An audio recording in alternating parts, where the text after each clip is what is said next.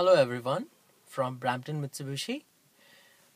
This video is specially designed on how to set up a Bluetooth on your favorite Mitsubishi Lancer cars.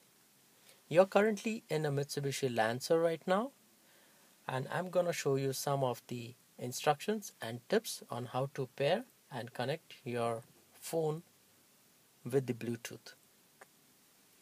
First of all, make sure that your car is completely stopped and in a parking mode. Number two, on your steering wheel, you can press your center switch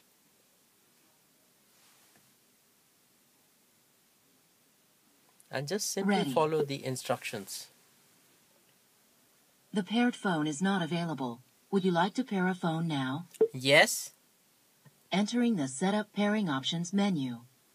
Please say a four-digit pairing code. zero, zero, zero, zero. Pairing code 0000. Is this correct? Yes, Start pairing procedure on the device. See the device manual for instructions. Meanwhile, you can go on your mobile. My currently my handset is a Samsung one. You can go into settings and wireless and networks where you can find the Bluetooth settings. After clicking the Bluetooth settings, you can you can click on the hands-free system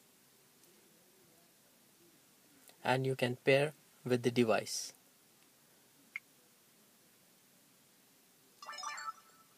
you can enter the same password which you had paired with the with on the system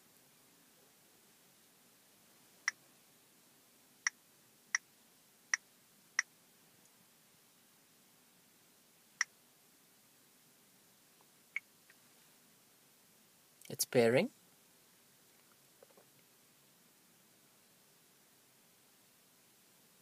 Please say the name of the device after the beep. samsung After the beep, say a name for the device. For example, Joe's phone. girish Adding, girish is this correct? yes Pairing complete. In order to find out if the pairing is successful just make a phone call. I'm calling up to our favorite uh, number that's Brampton Mitsubishi. So this will be our test call. Good evening, Brampton Mitsubishi. excellent